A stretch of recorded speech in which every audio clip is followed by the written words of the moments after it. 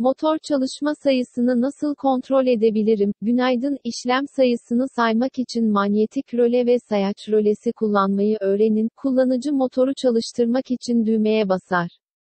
Motorun kaç kez çalıştığını söyleyebilir misiniz? Şimdi ayarladığınız motor sayısını sayan elektrik sırasına bakalım. Ekranda manyetik bir kontaktör, bir sayaç rölesi ve 8 pimli bir röle var.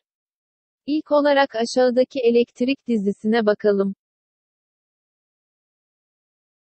Kesiciyi açarak ilk kez güç verildiğinde GL lambası yanar. Kullanıcı PB1 düğmesine bastığında, RY1 rölesine ve MC1 manyetik kontaktörüne güç verilir ve RY1 rölesi ile kendini tutma olur.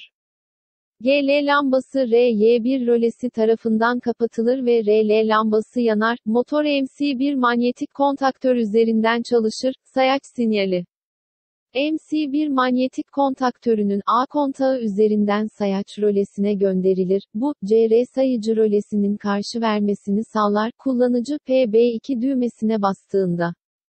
RY1 rölesi ve MC1 manyetik kontaktörü kapanır ve motor durdurulur. Yukarıdaki işlem 3 kez tekrarlanırsa, CR sayaç rölesi A kontağı etkinleştirilir ve ol lambası yanar.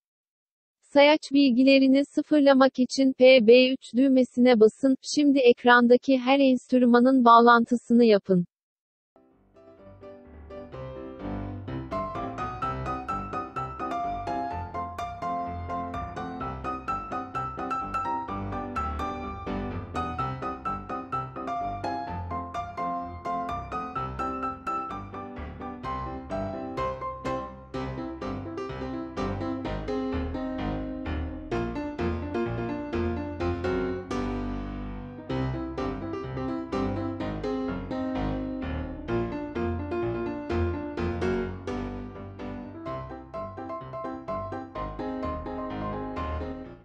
Bağlantı bitti. Şimdi lamba rengini değiştirin ve hareket kontrolünü başlatın. Sayaç rölesi CR'yi 3'e ayarlayın.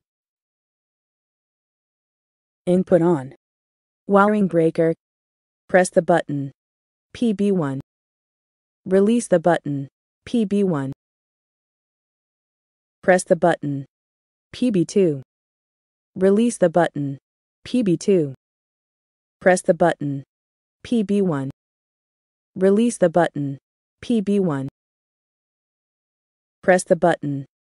PB2. Release the button. PB2. Press the button. PB1. Release the button. PB1. Press the button. PB2. Release the button. PB2. Press the button. PB3. Release the button. PB3. Press the button. PB1. Release the button. PB1. Press the button. PB2. Release the button. PB2. Press the button. PB1. Release the button. PB1. Press the button. PB2. Release the button. PB2. Press the button. PB1. Release the button. PB1. Press the button. PB2. Release the button. PB2. Press the button. PB3. Release the button. PB3. Input off. Wiring breaker. Çeşitli elektrik röleleri vardır. Bu sefer elektrik sayaç rölelerini öğrendik. Sayaç kaç elektrik eylemi düşündüğünüzü görmeyi ve çeşitli elektrik sekansları oluşturmayı kolaylaştırır. İzlediğiniz için teşekkürler. Aboneliği ve benzeri düğmeyi kontrol edin. Giderek daha fazla öğrenme videosu hazırlayacağız. Videonun altındaki yorumlarda bırakırsanız. Başka sorular takdir edilecektir. İyi günler.